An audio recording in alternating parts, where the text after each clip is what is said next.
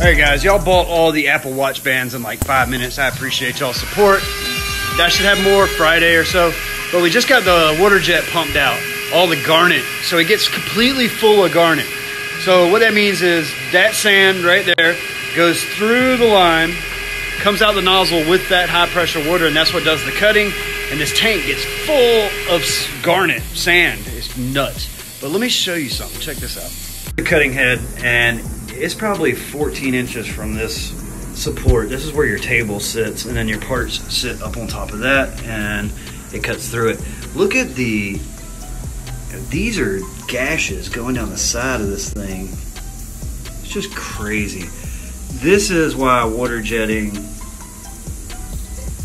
you know, costs so much and is such a pain is because it eats itself, it literally eats itself alive everything. It eats the nozzle, it eats the orifice, it eats the carbide mixing tube, it eats the table. Oh, water jets.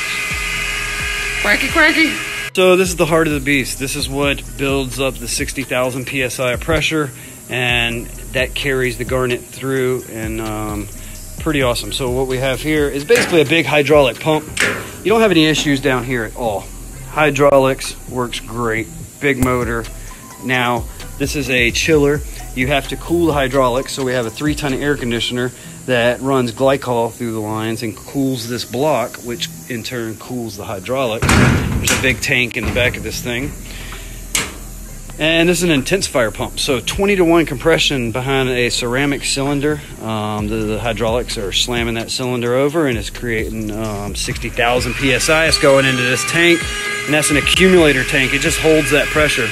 And um, so you do have some seals in here you have to change. Not a big deal at all. Four bolts that comes out super clean and easy. Um, air conditioner, no maintenance at all.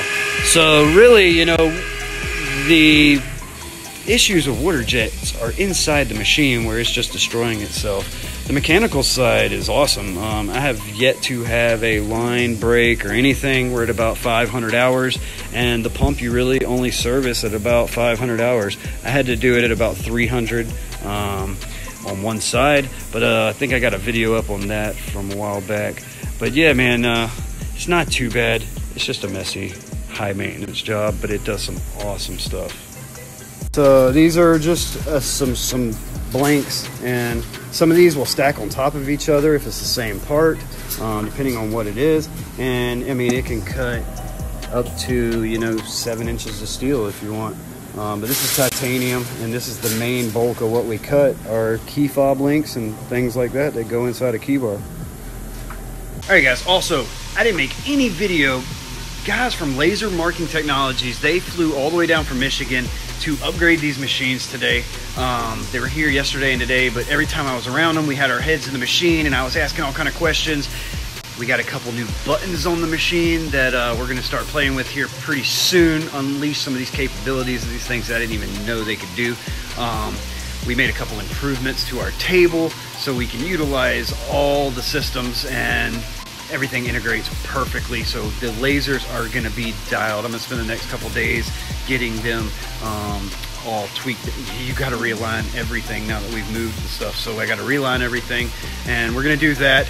And really excited about the extra little buttons we got on our screen now. So stay tuned for that. Appreciate you guys for flying down. Laser Marking Technologies, go check them out. They do some really cool stuff. Really cool stuff coming.